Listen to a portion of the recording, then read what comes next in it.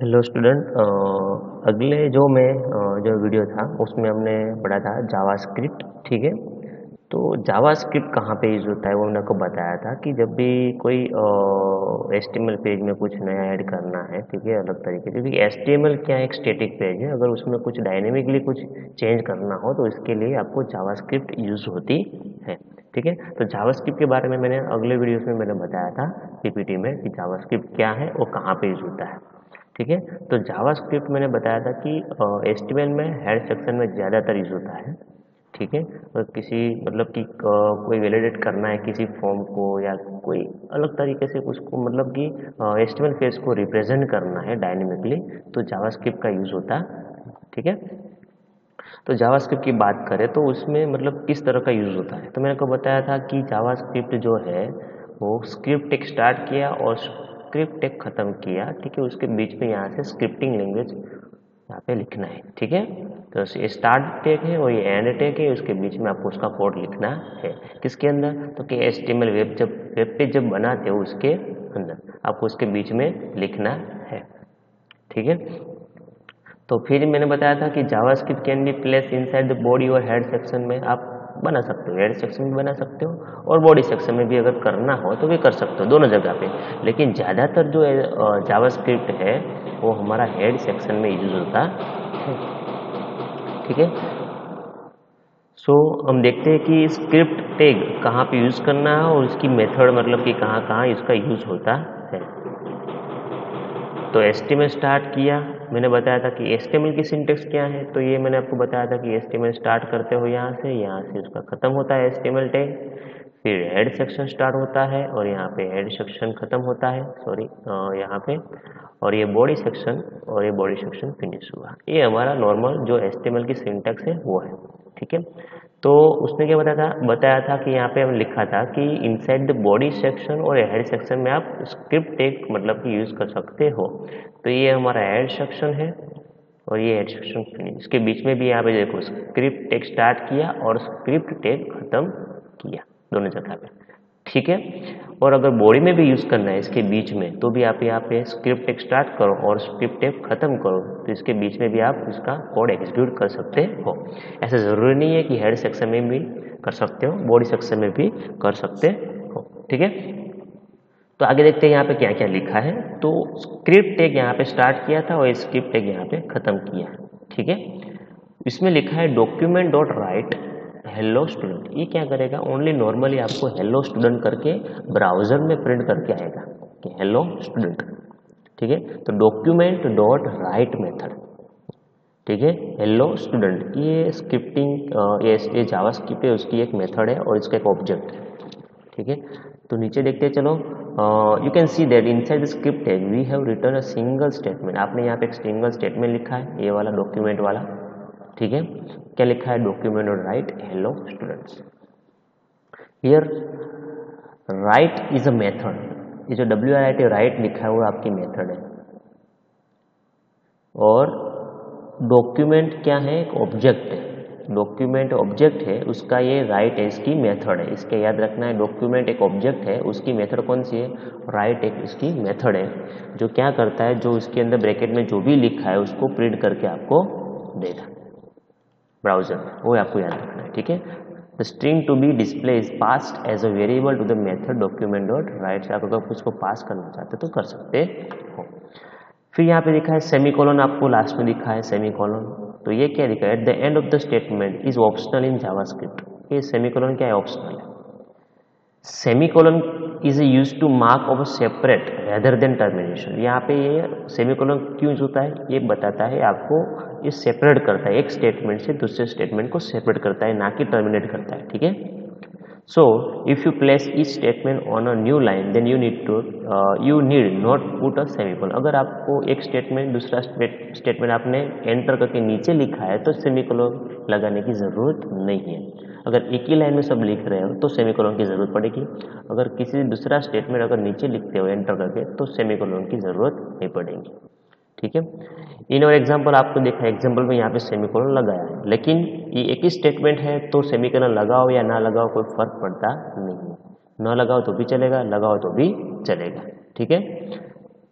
तो ऐसे प्रिंट करके आएगा हेलो स्टूडेंट ठीक है? यहाँ पे दूसरा एक याद रखना है कि अगर जावास्क्रिप्ट में तो चलो एक स्टेटमेंट है। अगर आपको उसमें ब्लॉक बनाना है ग्रुप ऑफ़ स्टेटमेंट्स हो तो क्या करना है? तो JavaScript statement can be grouped together in a block कि ब्लॉक के में अगर आपको ग्रुप ऑफ़ स्टेटमेंट रखना है तो रख सकते हो। इसके लिए आपको a block starts and ends with the curly brackets क्या? कली ब्रैकेट से स्टार्ट करना है कली ब्रैकेट से ख़त्म करना है। ठीक है? तो ये हमारा जावास्क्रिप्ट का एक एग्जांपल आपको मैंने बता दिया। ये इसका दूसरा एग्जांपल है फॉर्म फॉर्म बना के जो रिप्रेजेंट किया है, वो पूरा प्रैक्टिकल है, ठीक है? तो ये पूरा प्रैक्टिकल एग्ज़ाम में नहीं आता है प्रैक्टिकल ठीक है? हमें एम सी बेस जाना है। फिर आगे देखते हैं, पूरा उसने फॉर्म बना है, उसका, इसका यहाँ पे कोड लिखा है स्क्रिप्टिंग का कोड लिखा है, फिर उसके बाद उसका फॉर्म को एग्जीक्यूट करना है और उसको आपको उसका आउटपुट देखना है, ठीक है? तो वो तो फ़िलहाल अभी ज़रूरत नहीं है। फिर हम आगे देखते हैं फ़ंक्शन वैलिडेट फॉर्म ठीक है? फ़ंक्शन वैलिडेट फॉर्म तो पहले तो हम बताते हैं फ़ंक्शन किसको बोलते हैं। तो function also called routine is a reusable block of code that perform a particular task मतलब कि फ़ंक्शन कहाँ पे यूज़ होता है। तो फ़ंक्शन जब भी ऐसा कोड है जो अगेन अगेन यूज़ होता है प्रोग्राम में तो उसको क्या करते हैं कि वो कोड को हम एक ब्लॉक के तरह से उसको बना देते हैं। ठीक है? तो function is a reusable block of code that perform a particular task के लिए इसका यूज़ होता है। जो ज़्यादातर यूज़ होता है, वो कोड को हम क्या, कहाँ पे डाल देते हैं? फ़ंक्शन में डाल देते हैं। ठीक है? अब function is a defined by keyword function function keyword का आपको ये वाला कीवर्ड यूज़ करना पड़ेगा तो ही फ़ंक्शन बनेगा अदरवाइज़ बनेगा नहीं। And block of code is written inside the curly brackets ठीक है? तो कर्ली ब्रैकेट्स में यानी कि इसके अंदर आपको कोड लिखना पड़ेगा। Your validate form is a function यहाँ पे एक वैलिडेट फॉर्म करके एक क्या है? एक फ़ंक्शन ही है। तो पहले तो फ़ंक्शन क्या था वो समझाया, फिर वैलिडेट फॉर्म क्या है तो वो वन टाइप का एक फ़ंक्शन ही है। ठीक है? Is a function JavaScript provide some inbuilt function JavaScript में बहुत सारे इनबिल्ट फ़ंक्शन है नीचे देखेंगे। ठीक है? एक अलर्ट करके एक फ़ंक्शन आता है। वो क्या करता है? तो आपको जो इसके अंदर जो लिखा है, उसको एक टेक्स्ट बॉक्स की अलर्ट बॉक्स करके उसको रिप्रेजेंट करेगा। तो alert function take the text and display it in an alert box में डिस्प्ले करके देगा। यहाँ पे एग्जांपल दिया गया है कि कैसे फ़ंक्शन बनता है। तो फ़ंक्शन बनाने के लिए मैंने आपको बताया था फ़ंक्शन कीवर्ड का यूज़ करना पड़ेगा। ठीक है? फिर स्पेस हेलो और फिर ये राउंड ब्रैकेट्स ओपन किया और क्लोज किया। ये ज़ीरो नहीं है राउंड ब्रैकेट से ओपन एंड क्लोज ये फ़ंक्शन का नेम है और इसमें अगर ये ओपन और ब्रैकेट एंड क्लोज ब्रैकेट है राउंड ब्रैकेट ठीक है? इसमें कुछ पैरामीटर डालने हैं तो भी डाल सकते हो। ये यूज़र डिफाइंड नेम दे सकते हो आप। ऐसा ज़रूरी नहीं कि उसने हेलो दिया तो हम हेलो ही देंगे। आप अपने हिसाब से नेम दे सकते हैं। इसके अंदर मैंने बताया अलर्ट मेथड ये वाली। यहाँ पे अलर्ट मेथड लिखी। अलर्ट डबल कोटेशन में क्या लिखा? हेलो स्टूडेंट तो ये क्या करेगा कि अलर्ट डायलॉग बॉक्स ओपन करके हमें रिप्रेजेंट करके देगा। यहाँ पे लिखा है ये the function hello when call will display an alert box with the message hello student ये जो फ़ंक्शन है, उसको क्या है? यूज़र डिफाइन हम बनाते हैं तो उसको हमें कॉल करना पड़ेगा। क्या करना पड़ेगा? कॉल तो जब भी किसी फ़ंक्शन को कॉल करना हो तो उसका नेम लेके उसको कॉल करना पड़ेगा। तो यहाँ पे हेलो ऐसे जब कॉल करोगे फ़ंक्शन को तो क्या करेगा? इसके अंदर जो लिखा है, वो एलर्ट डायलॉग बॉक्स में हेलो स्टूडेंट करके आ जाएगा। The function will be execute by an event और when it is call inside a source code कि इसके अंदर का जो कोड है वो कहाँ कब एग्जीक्यूट होगा? जब आप उस, आप अपने सोर्स कोड में से उसको कॉल करोगे क्या इवेंट पा, पास करोगे तब ये फ़ंक्शन आपका कॉल होगा। अदरवाइज़ ऐसे ही आप बिना कॉल करके कि आप अगर उसको आउटपुट लेना चाहते हो तो नहीं आएगा। पहले उसको हेलो करके उसको कॉल करना पड़ेगा। अब function can be call anywhere from within the source code कहाँ से भी मतलब कहाँ भी कोड में भी आप उसको कॉल करना चाहते हो तो कर सकते we can define the function in head और body section of the HTML code यहाँ पे उसमें हेड में भी बना सकते हो हेड सेक्शन में, और बॉडी सेक्शन में भी बनाना चाहते हो तो फ़ंक्शन बना सकते हो। अब function is a call by its name function को उसको नेम से बुलाया जाता है मतलब कि अगर उसको फ़ंक्शन को कॉल करना है तो उसका नेम करके उसको कॉल करना पड़ेगा। It can also take a value inside the parenthesis यानी कि इसके पेरेंथेसिस में उसको वैल्यू भी लेता है, इसलिए यहाँ पे इसको पेरेंथेसिस दे रखा है। ठीक है? This value is passed as a parameter to the function यानी कि उसमें अगर पैरामीटर की तरह से वैल्यू पास करनी हो तो यहाँ से पैरामीटर करके उसको वैल्यू पास कर सकते हो। कब? जब आप कॉल करते हो, तब। Sometimes you want the functions to return value कभी कभार क्या होता है कि आपको वैल्यू रिटर्न चाहिए तो क्या करना है? तो इसके अंदर भी एक रिटर्न करके एक मेथड आती है, वो करके आप उसमें से फ़ंक्शन में से कोई वैल्यू रिटर्न लेनी है तो भी ले सकते हो। This is possible by using the return statement the use of return statement will stop the function from the executing यानी आपका फ़ंक्शन स्टॉप हो जाएगा and then return the specific value आपको स्पेसिफिक वैल्यू रिटर्न करेगा।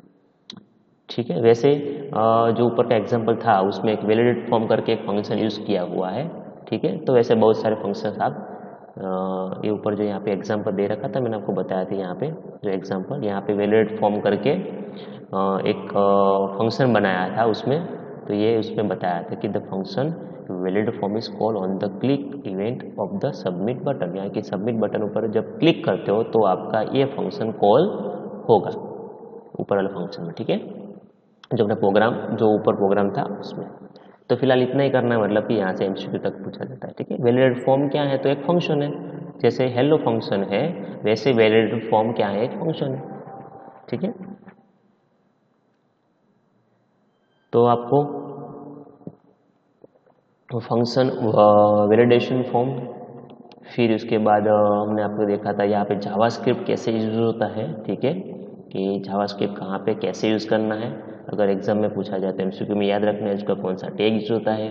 फिर ऐसे पूछा जाता है कि डॉक्यूमेंट राइट और हेलो स्टूडेंट इसमें ऑब्जेक्ट कौन है मेथड कौन है तो वो भी आपको पूछा जाता है एमसीक्यू में। तो वो भी फ़िलहाल आपको याद रखना पड़ेगा, ठीक है? आज जितना भी चला है, उतना आप मतलब नोटबुक में मार्क कर लो मतलब मोस्ट मोस्ट जो पॉइंट्स है, ठीक है, जो एमसीक्यू में आते हैं, ठीक है? तो आज इतना ही नेक्स्ट वीडियो में हम आगे देखेंगे इवेंट जो इसके बाद का जो टॉपिक है हमारा वो है हमारा इवेंट मतलब कौन कौन सी इवेंट जो प्री डिफाइंड है, जो पहले से बनी हुई है, उसको हमें एग्जीक्यूट करना है और वो इवेंट क्या क्या वर्क करती है, वो हम इवेंट में देखेंगे. ठीक है? तो फ़िलहाल आज इतना ही. ये जो मैंने आगे जो चलाया उसमें एक बार रिवाइज करो एम सी में उसमें आ सकता है. ठीक है?